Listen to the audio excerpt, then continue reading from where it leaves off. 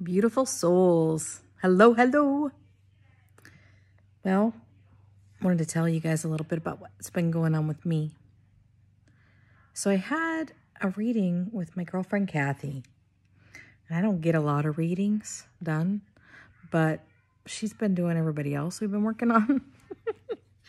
and I was like, oh, I've never really had you look like deep. I mean, she's looked to see if I was uh, you know, if I had cords or, you know, got whacked energetically or not. But anyway, so long story short, what's been coming up for me is how my basic foundation of beliefs hmm, surrounding who I've always been, you know, started in childhood And probably over the last two or three months, I was remembering about being a child and being afraid that there were um, alligators underneath my bed.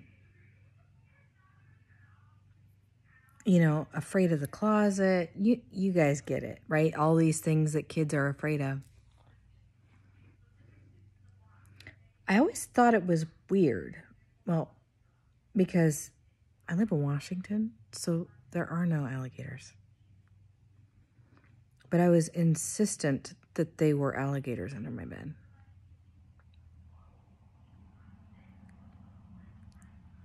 So much so that to get out of my bed to go to the bathroom, I would get on top of my bed and jump to the door. I know. Probably you know, my parents told me it was my, you know, I had a vivid imagination, but that none of it was real. That was one thing. The other thing, there was something about my closet. I had to be, it had to be closed at night. Something else, you know, I had a lot of ear infections. And so I remember believing that there were uh, these giants. I could hear them. I could hear them coming. So, anyway, with this reading,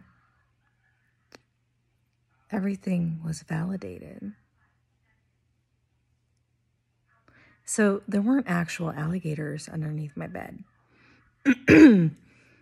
But I was visited repeatedly by reptilians at nighttime.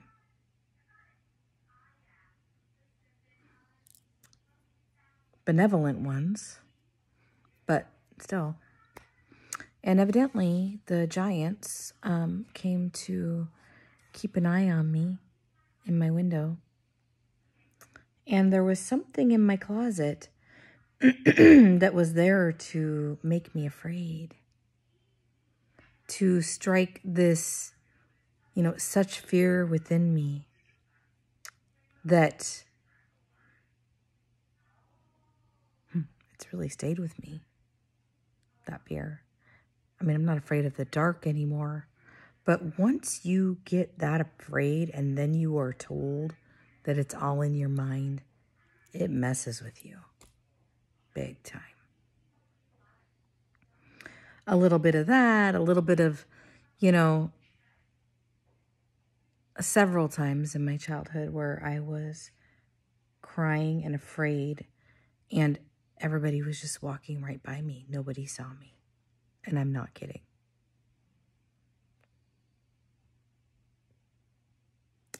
So I've been working through that. I've been, it's a trip.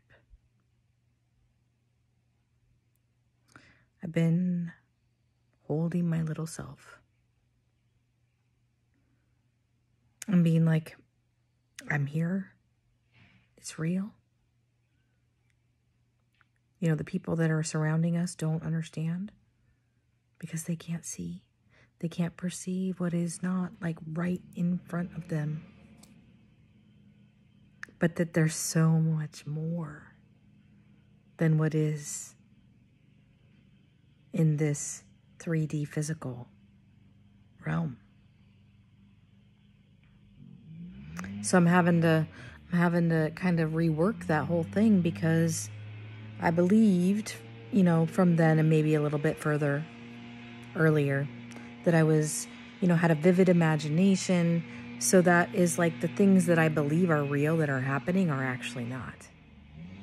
And for somebody like me, who is a conduit where I get knowings of things, just I know I don't necessarily see it, but I just know that insidiousness of being told that it's not real. Man, that messed with me for years.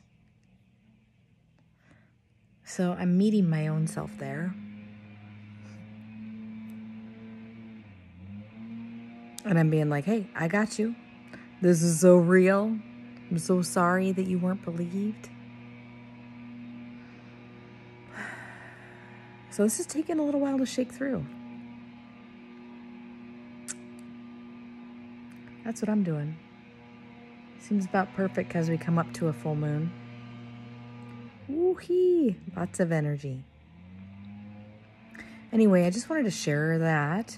I'm wondering if things like that might be coming out for you, right? It's not even, it's just, I totally believed something that was not real because they told me, because I trusted them. And they didn't do it on purpose. They didn't know. They really thought I was not seeing anything and that I was not perceiving anything. Anyway, I just wanted to share that.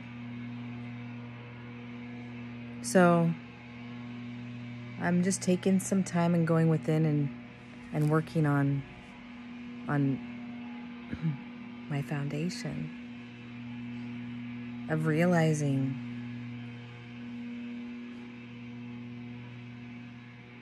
that I shut it all down because I thought I was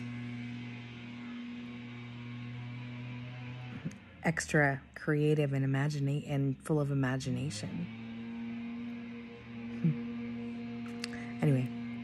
Love you guys. Bye.